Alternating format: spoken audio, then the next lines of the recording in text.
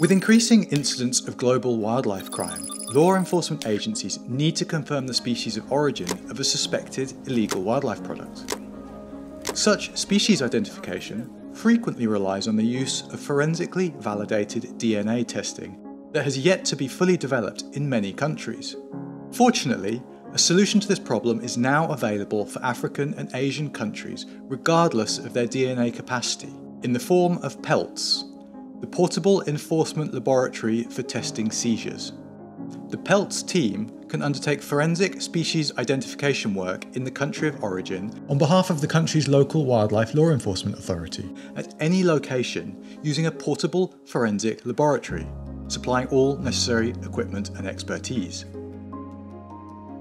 Forensic species identification can be confirmed for many widely traded species, such as lion, rhino, elephant, hawksbill turtle, pangolin, and many, many more.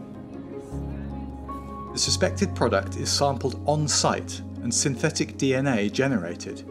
None of the original product is exported from the country of origin.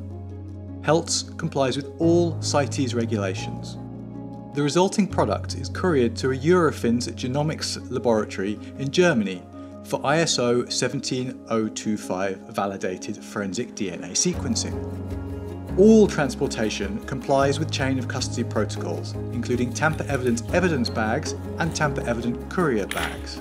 Condition reports, including a tamper report, are completed by the lab upon receipt of the sample. The results of the forensic testing, along with forensic interpretation provided by Trace Wildlife Forensics Network, are returned two to three days after receipt of the synthetic DNA in the form of a certificate of analysis.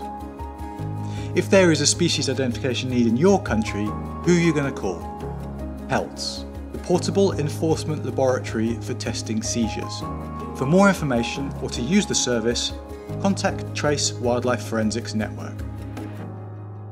Please note, PELT can only respond to requests from the country's local wildlife law enforcement authority.